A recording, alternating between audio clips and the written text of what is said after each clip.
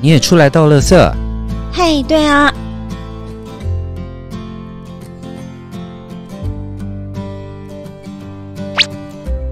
哎，那是纸容器，纸容器要跟一般纸类分开回收。灯管、灯泡、玻璃容器等要妥善包装再回收。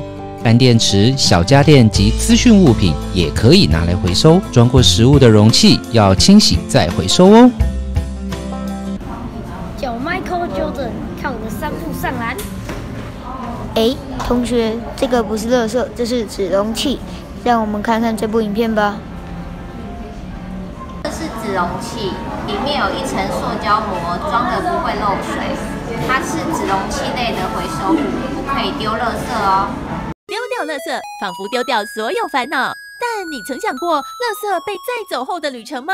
垃圾倒入焚化厂主坑后，用大型夹具进行焚烧处理，或一千度高温燃烧，热能可用来发电，废气则处理后排放。这些过程都由中央控制室把关。二十多年来，不断优化设备。荣获财政部第二十一届金擘奖优等及创新奖，近邻勇士，新北先行。